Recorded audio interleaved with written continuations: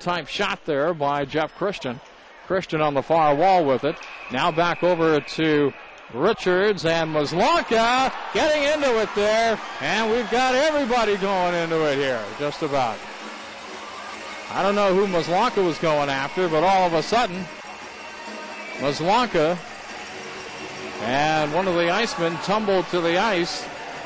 Nelson and Christian are hooked up, both on the ice. It was Maslonka and Schneider who got into it. Sticks and gloves and helmets litter the ice. Maslonka in the penalty box. The calls will come at the 433 mark here in the second period of play. 433, LaRock, actually it could be uh, LaRock and Maslonka, who initially got into it.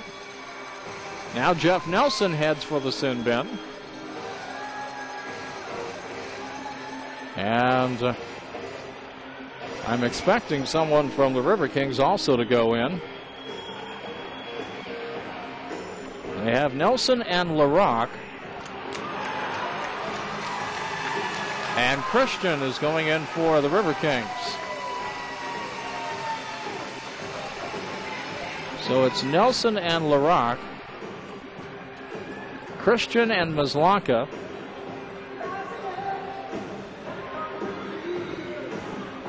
Penalties again will be at 433.